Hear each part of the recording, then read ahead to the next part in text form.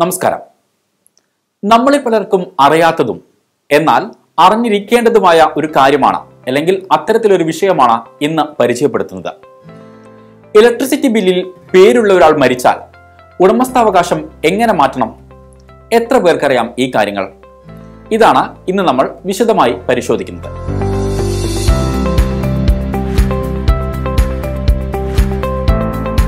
നിലവിൽ ഓണർഷിപ്പ് അവകാശമുള്ള വ്യക്തിയുടെ പേര് മാറ്റി പുതിയ ഒരാളുടെ പേരിലേക്ക് ഓണർഷിപ്പ് ചേഞ്ച് ചെയ്യുന്നതിനായി ഓൺലൈനായാണ് ഇപ്പോൾ അപേക്ഷ സമർപ്പിക്കേണ്ടത്. അതിന് ആവശ്യമായ രേഖകൾ എന്തെല്ലാം ചെയ്യേണ്ട രീതികൾ എന്തെല്ലാം ഇതാണ് നമ്മൾ പരിശോധിക്കുന്നത്.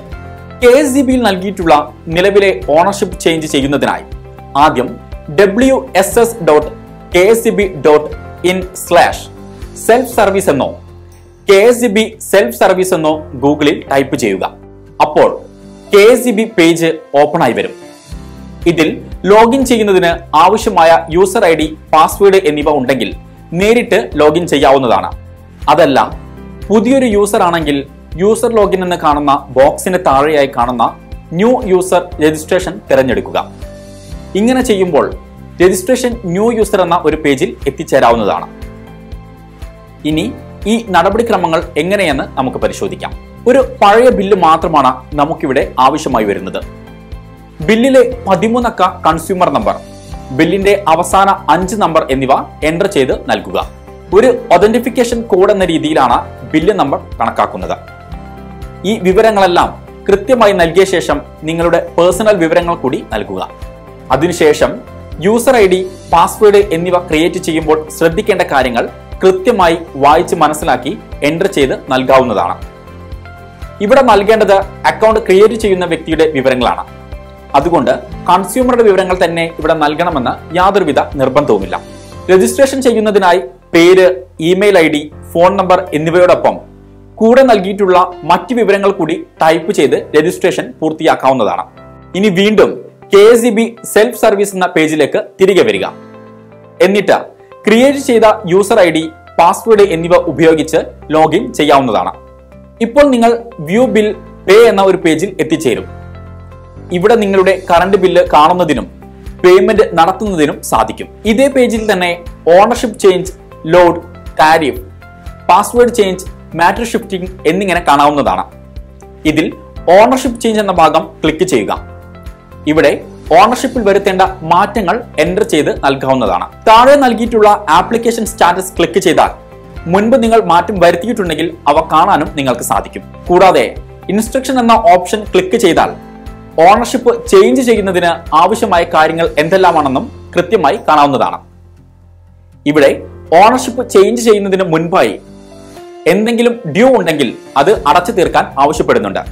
ഉണ്ടെങ്കിൽ അത് അടച്ചു തീർക്കുക കൂടാതെ ഓണർഷിപ്പ് ആരുടെ പേരിലേക്കാണോ ചേഞ്ച് ചെയ്യുന്നത്? അതിന് ആവശ്യമായ എല്ലാവിധ ഒറിജിനൽ രേഖകളും ഇൻസ്പെക്ഷൻ സമയത്ത് ഹാജരാക്കേണ്ടതുമാണ്. ഇൻസ്ട്രക്ഷനിൽ ഐഡന്റിറ്റി പ്രൂഫ് ഓണർഷിപ്പ് സംബന്ധിച്ച കാര്യങ്ങൾ എന്നിവയെല്ലാം കൃത്യമായി നൽകിയിട്ടുണ്ട്. ഇതും കൃത്യമായി വായിച്ചു മനസ്സിലാക്കുക. പഴയ ഓണർഷിപ്പുള്ള സെക്യൂരിറ്റി ഡെപ്പോസിറ്റ് ട്രാൻസ്ഫർ ചെയ്ത് ലഭിക്കുന്നതിനായി പ്ലെയിൻ പേപ്പറിൽ അനുമതി എഴുതി നൽകണം. കൂടാതെ ആപ്ലിക്കന്റിന്റെ identity പ്രൂഫായി voter I D PAN card എന്നിങ്ങനെ ഏതെങ്കിലും ഒരു രേഖ ആവശ്യമായി വരും. ഇതും കൃത്യമായി നൽകുക.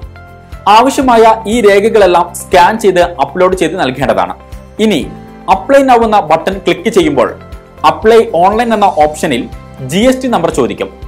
ഇത് നൽകണമെന്ന് യാതൊരുവിധ നിർബന്ധവുമില്ല. ഉണ്ടെങ്കിൽ നൽകാവുന്നതുമാണ്.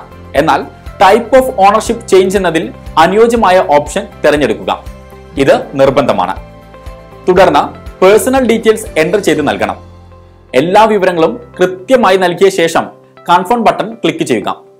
അടുത്ത പേജിൽ ആവശ്യമായ ഡോക്യുമെന്റ്സ് അപ്ലോഡ് ചെയ്യുക. അതിനുശേഷം കൺഫേം ബട്ടൺ വീണ്ടും ഒരിക്കൽ കൂടി ക്ലിക്ക് ചെയ്യുക. തുടർന്ന് വരുന്ന പേജിൽ സ്റ്റാറ്റസ് എന്ന് കാണുന്ന ഭാഗത്ത് സേവ്ഡ് എന്നാണ് കാണിക്കുന്നതെങ്കിൽ ഡ്രോപ്പ് ഡൗൺ ഏരോ ക്ലിക്ക് ചെയ്യുമ്പോൾ നിങ്ങൾ ഇതുവരെ ചെയ്തിരിക്കുന്ന വിവരങ്ങളെല്ലാം കാണാവുന്നതാണ്. ഇത് ഒരിക്കൽ കൂടി പരിശോധിച്ച് ഉറപ്പുവരുത്തുക. ക്യാൻസൽ ചെയ്യണമെങ്കിൽ ഇവിടെ കാണുന്ന ക്ലോസ് ബട്ടൺ ക്ലിക്ക് ചെയ്താൽ മതി. ഇനി അതല്ല പേയ്മെന്റ് ഇനീഷ്യേഡ് എന്നാണ് കാണുന്നതെങ്കിൽ പേയ്മെന്റ് ചെയ്യാൻ സാധിക്കുന്നതല്ല. ഈ അവസ്ഥയിൽ രണ്ട് മണിക്കൂർ കാത്തു നിൽക്കുക. ശേഷം വീണ്ടും ഇതേ രീതിയിൽ തുടർന്നാൽ നിങ്ങൾക്ക് പേയ്മെന്റ് ചെയ്യാൻ സാധിക്കുന്നതാണ്. അങ്ങനെ വരുന്ന സമയത്ത് പ്രൊസീഡ് ബട്ടൺ ക്ലിക്ക് ചെയ്യുക. ശേഷം പേയ്മെന്റ് പേജിൽ ഏതെങ്കിലും ഒരു ഓൺലൈൻ പേയ്മെന്റ് രീതി ഉപയോഗപ്പെടുത്തി. ഓണർഷിപ്പ് ചേഞ്ച് ചെയ്യുന്നതിന് ആവശ്യമായ ഒരു തുക അടയ്ക്കുക. ഈ തുക അടയ്ക്കുന്നതോടെ നിങ്ങൾ കെ എസ് നൽകിയിട്ടുള്ള ഓണർഷിപ്പ് ഓൺലൈൻ വഴി മാറിയിട്ടുണ്ടാകും.